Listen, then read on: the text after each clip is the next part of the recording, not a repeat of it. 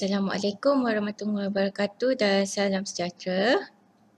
Apa khabar semua? Okey, berjumpa kita kembali. Kali ini dalam tajuk Blok Ekonomi dan Perjanjian Perdagangan. Okey, apakah yang dikatakan blok ekonomi?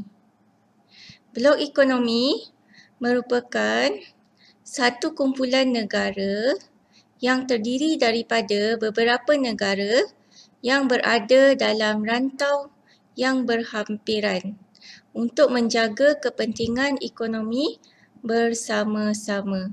Okey, kita tengok dalam peta dunia ini. Okey, peta dunia ni menunjukkan blok-blok ekonomi di dunia. Okey, contohnya Okey, yang warna oranye ni merupakan kesatuan Afrika. Okey. Yang warna hijau ni merupakan kesatuan ekonomi Eurasian. Okey. Yang merah ni merupakan Liga Arab. Okey. Yang coklat ni ialah Asia Selatan. Okey. Warna biru ni, ha, ni di sinilah Malaysia merupakan perjanjian perdagangan bebas ASEAN. Okey. Dan warna purple ni merupakan perjanjian perdagangan bebas Amerika Utara. Okey. Manakala negara-negara yang tidak termasuk dalam mana-mana blok ekonomi diletakkan dalam warna kuning. Okey, kita tengok satu persatu blok ekonomi. Yang pertama kita tengok kesatuan Eropah. Ini adalah contoh-contoh negara yang termasuk dalam kesatuan Eropah eh.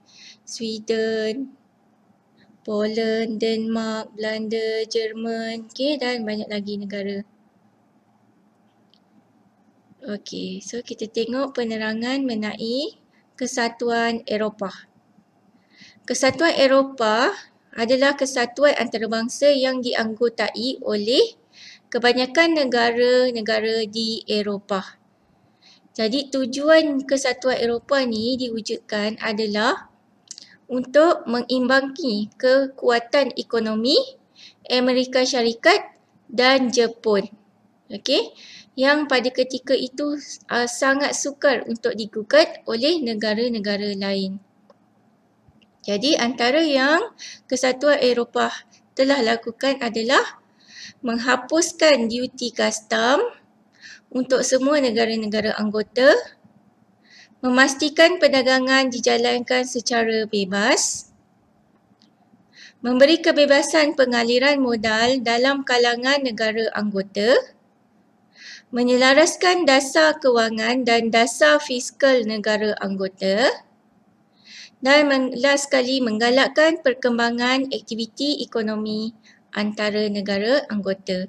Dan sehingga tahun 2017 telah du, uh, 27 negara eh telah menganggot, menganggotai kesatuan Eropah.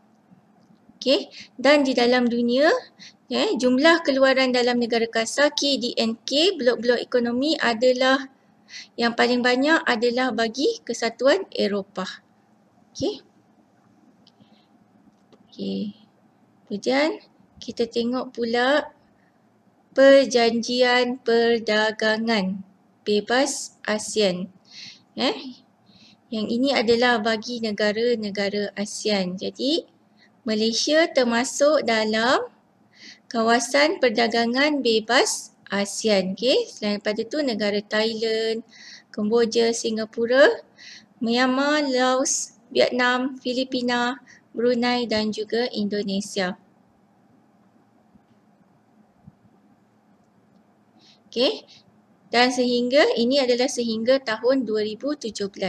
Okey, antara tujuan perjanjian AFTA adalah yang pertama untuk meningkatkan daya saing ASEAN sebagai pengkalan pengeluaran dalam pasaran dunia dengan menghapuskan tarif dan bukan tarif dalam kalangan ASEAN. So maksudnya perdagangan antarabangsa yang berlaku dalam negara ASEAN ni, okay, pengel, apa ni, penjualan barang import dan ekspor tidak dikenakan tarif dan juga bukan tarif. Okey, jadi ini dapat menarik kemasukan pelabur asing dan juga teknologi-teknologi baru ke dalam negara-negara ASEAN. Okey, seterusnya pengguna dapat memperolehi barang dagangan daripada pengeluar dengan lebih cekap. Ini dapat mewujudkan perdagangan sorry, ini dapat mewujudkan perdagangan intra-ASEAN dan meluaskan pasaran ke luar negara. Okey. Jadi dengan ini, okey, barang yang dikeluarkan dalam negara ASEAN ni lebih berkualiti. Okay. Dan harga barang ini dapat bersaing dalam pasaran. Okey. Pengeluaran barang secara besar-besaran ni juga dapat memastikan input pengeluaran digunakan secara maksimum bagi meningkatkan pengeluaran. Okey. Seterusnya kita tengok pula perjanjian A mengenai tarif dan perdagangan. Jadi Malaysia merupakan antara negara yang terawal menjadi ahli dalam perjanjian tarif dan perdagangan itu pada tahun 1957. Okey.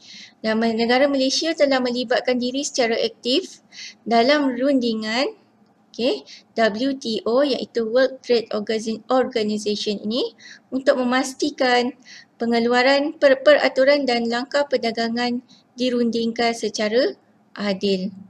Jadi tujuan utama pembentukan GATT ni adalah untuk mencipta iklim perdagangan antarabangsa yang harmoni dan sihat serta memastikan liberalisasi perdagangan dilaksanakan secara berterusan.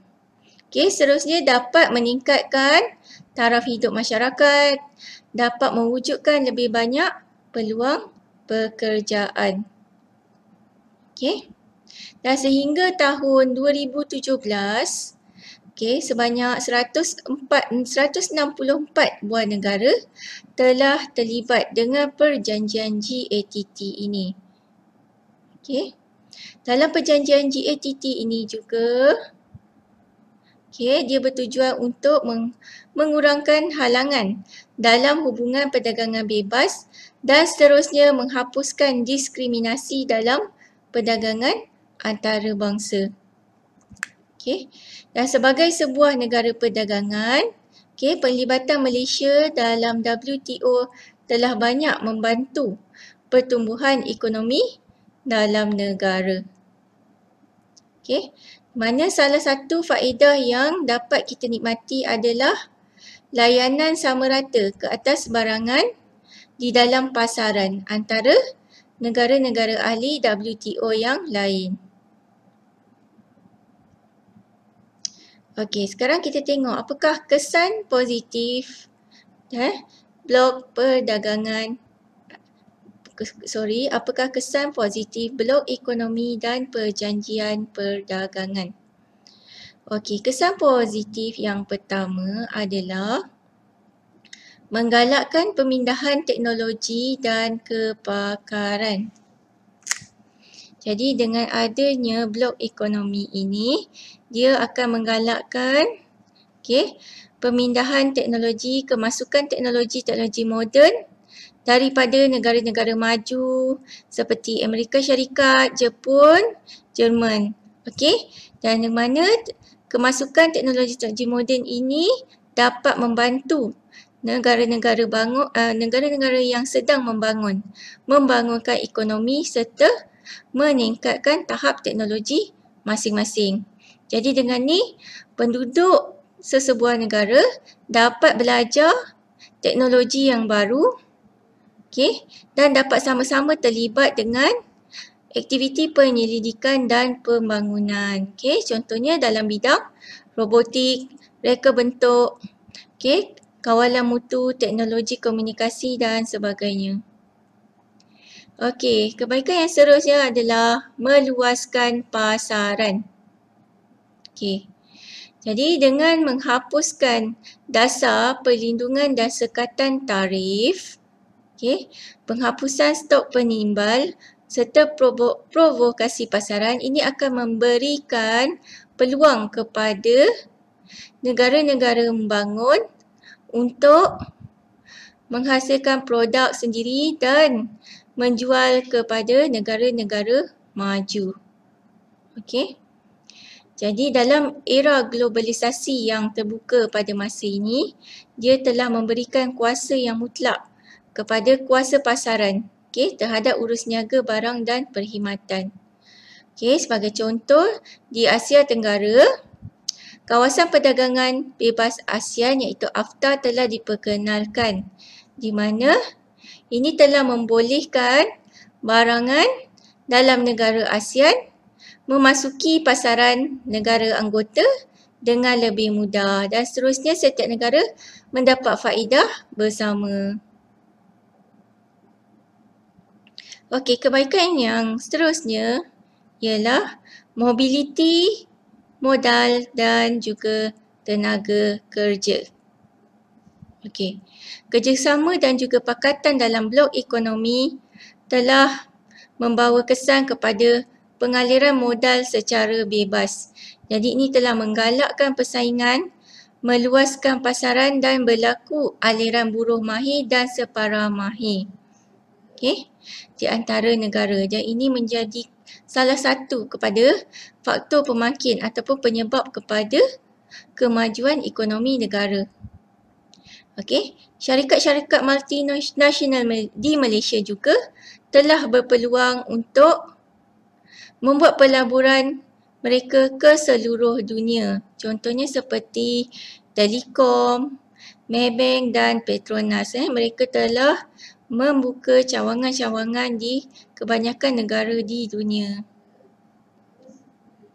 Okey, kebaikan yang seterusnya ialah peningkatan pelaburan langsung asing. Okey. Jadi kerjasama antara negara-negara anggota dalam blok ekonomi ini telah membolehkan pelaburan langsung asing masuk ke sesebuah negara.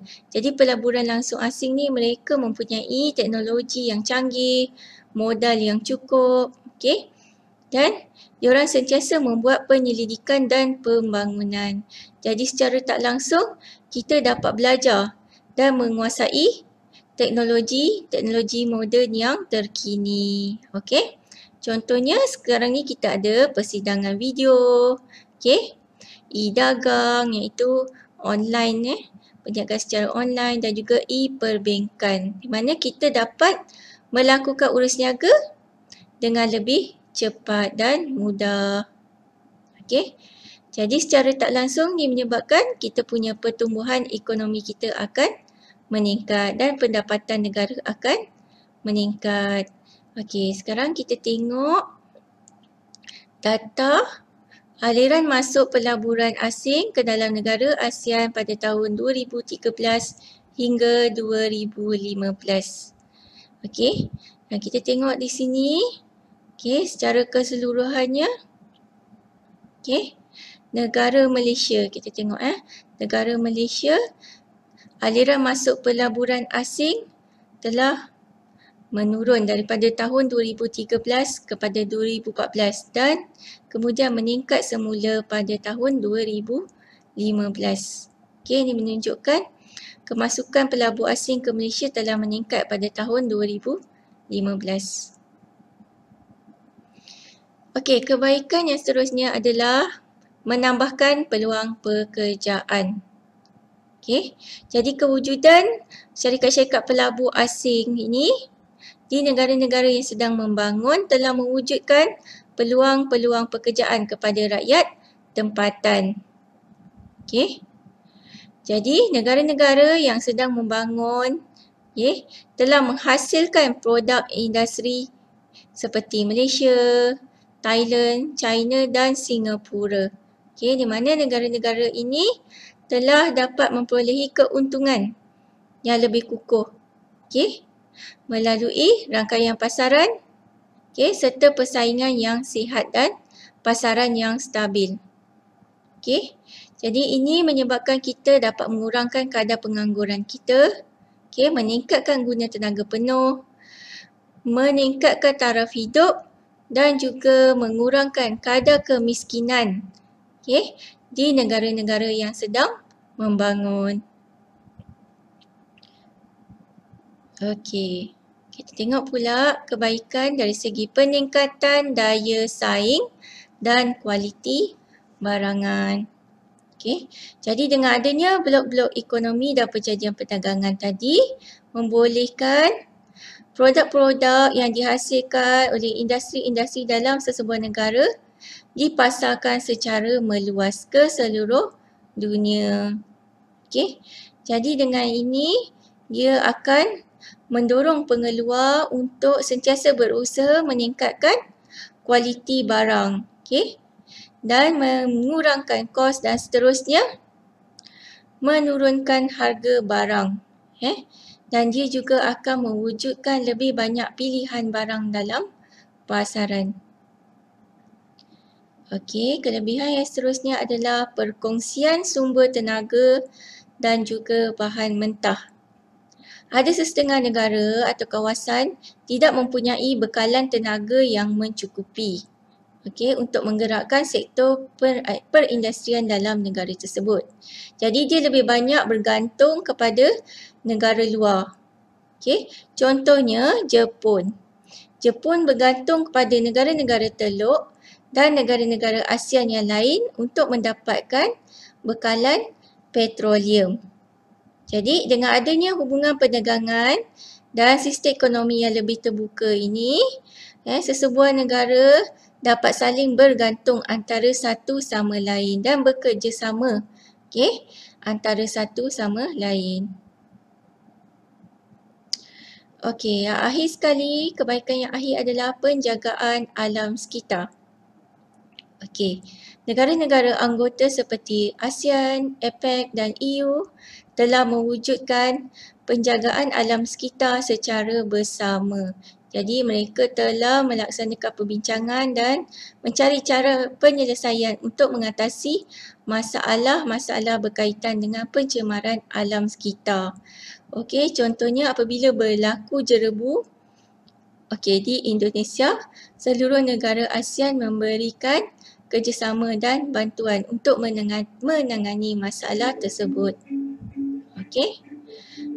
Negara-negara anggota juga akan menjalankan usaha sama untuk membuat pengesanan, rondaan dan juga kawaselia dan juga membuat pengawasan dan pemuliharaan terhadap alam sekitar. Okey, itu tadi kebaikan. Okey. Kebaikan blok ekonomi. Sekarang kita tengok pula keburukan blok ekonomi dan perjanjian perdagangan ya, kesan negatif perjanjian perdagangan. Okey, kesan negatif yang pertama adalah berlaku kegawatan ekonomi. Okey. Apabila terlalu banyak aliran masuk modal antarabangsa ke dalam negara-negara rantau Asia Pasifik, ini menyebabkan sistem kewangan negara di rantau tersebut okay, menjadi kurang stabil. Okay. Keadaan ini berlaku sebabkan oleh dana asing tadi tidak boleh keluar ataupun masuk okay, ke dalam ataupun keluar negara dengan mudah. Jadi, penarikan keluar modal asing secara mendadak dari sebuah negara akan menyebabkan ekonomi tadi akan terjejas. Okay. Operasi industri akan terjejas. Kadar pengangguran meningkat dan juga beban daripada hutang luar negara meningkat. Okey, Kesan negatif yang kedua adalah berlaku tekanan ekonomi dan bebanan hidup golongan miskin. Okey, apabila berlaku perjanjian perdagangan, contohnya kerajaan akan menghapuskan pemberian subsidi dan kuota okey, dengan cara membuka ekonomi negara kepada pihak asing. Maksudnya dia menggalakkan kemasukan pelabur asing. Jadi ini akan menyebabkan peningkatan dalam harga barang. Okay, harga barang akan meningkat. Okay. Dan menyebabkan kos sara hidup kita akan meningkat. Okay, contohnya Okay. Harga ubat-ubat dan barang-barang farmasi di Amerika Syarikat telah meningkat. Okay. Akibat daripada kemasukan syarikat-syarikat farmasi ini secara bebas dan tidak terkawal. Okey, ini jadi menyebabkan orang-orang yang berpendapatan rendah tadi tidak mampu untuk membeli ubat. Okey, kesan negatif yang seterusnya ialah corak penjajahan baru ekonomi. Okey. Apabila sesebuah negara membuka pintu ekonomi mereka, maksudnya mereka mendedahkan pasaran tempatan kepada kuasa monopoli syarikat multinasional kerana mereka ini mempunyai modal yang besar. Okey. Jadi, sumber-sumber ekonomi dalam negara yang sedang membangun tadi akan dieksploitasi oleh syarikat-syarikat multinasional tadi. Eh? Dan mereka juga mungkin membayar gaji yang rendah kepada buruh tempatan. Eh? Tetapi memberi beban kerja yang banyak. Okay. Kemudian wujud pula kuasa monopoli bank perdagangan tempatan oleh syarikat gergasi. Okay. Dan kawalan ekonomi oleh pelabur asing. Semuanya adalah untuk menjaga kepentingan masing-masing. Jadi ini seolah-olah okay, orang-orang asing, pelabur-pelabur asing ini masuk ke, ke Malaysia dan dia telah menjajah ekonomi negara Malaysia. Okey, seterusnya adalah dia telah menimbulkan masalah lambakan barang. Okey. Jadi bila terlampau banyak barang import masuk ke Malaysia, jadi dia dah jadi melambak, jadi harga dia akan jadi murah. Okey, sehingga kan barang tu menjadi kurang berkualiti. Jadi ini akan menjejaskan industri-industri tempatan. Jadi mereka tak dapat bersaing sebab orang akan beli barang import yang lebih murah. Okey, bila tak dapat bersaing jadi pendapatan mereka akan terjejas. Bila pendapatan mereka terjejas, jadi mereka terpaksa buang pekerja, kurangkan pekerja. Okay? Jadi dia memberi kesan yang besar kepada penduduk tempatan. Hilang pekerjaan, hilang pendapatan dan juga seterusnya. Pendapatan negara pun akan berkurang sebab mereka tidak mempunyai keuntungan yang banyak. Jadi mereka tidak dapat membayar cukai kepada kerajaan. Okey, seterusnya adalah pencemaran kepada budaya tempatan. Okey. Sekarang ni kita tengok macam-macam fashion yang tidak sesuai, budaya-budaya yang tidak sihat daripada luar negara. Diikuti oleh rakyat Malaysia, terutamanya generasi-generasi muda. Jadi, ini menyebabkan ya, anak-anak tempatan generasi muda kita telah hilang identiti identiti diri dan seterusnya telah runtuh nilai ahlaknya. Okey, last sekali adalah berlakunya ancaman kepada industri muda tempatan. Okey. Penghakisan dasar perlindungan terhadap produk tempatan telah menyebabkan pengeluar tempatan terpaksa bersaing dengan produk luar negara. Okey. Jadi, ini menyebabkan berlakunya monopoli, kuasa monopoli dalam syarikat-syarikat multinasional yang besar. Okey. Dan sehinggakan syarikat yang tempatan tadi ya seperti IKS terpaksa gulung tikar, eh, terpaksa tutup kerana tak dapat bersaing dengan syarikat-syarikat yang besar. Okey, syarikat monopoli tadi daripada sama ada syarikat daripada dalam negara ataupun luar negara. Okey. Contohnya di Malaysia dalam bidang industri otomotif, eh, kenderaan, kewangan dan juga pengeluaran ubat-ubatan. Okay, bidang-bidang ni telah dikuasai oleh negara-negara maju. Okay, menyebabkan banyak pengeluar tempatan telah keluar daripada industri tersebut sebab mereka tak dapat nak bersaing. Okay. Jadi ini memberikan kesan yang tidak baik kepada industri tempatan negara kita.